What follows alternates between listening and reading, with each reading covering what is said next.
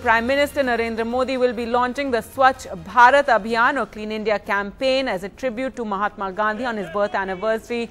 Uh, there, those visuals you're seeing is of the Prime Minister uh, in, engaging in a cleanliness drive at Valmiki Basti. It's a colony of sanitation workers in Delhi. The Prime Minister began his day with a visit to Rajghat where he paid homage to the father of the nation.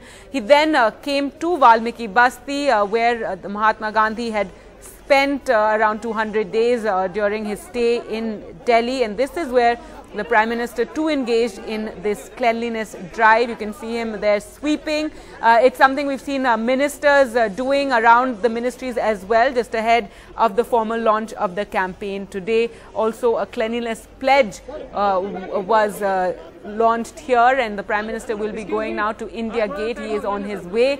He'll be going to India Gate where our uh, government employees are there. Around thousands of them, 30,000 government employees are there and they will take a pledge of cleanliness. Now, this is a campaign that will uh, go on for the next five years, and the aim is to bring a toilet to every home. It is sanitation drive as well, and also bring civic sense and uh, and uh, make cleanliness a priority across the country. It is something we've seen the Prime Minister speak on extensively during campaigns, during speeches at India at uh, on Independence Day as well at the Red Fort. He spoke about cleanliness and, and the need for it. Uh, even as he when he took over as Prime Minister, he would make surprise checks around the Prime Minister's office and uh, ask for cleaning up of all government offices.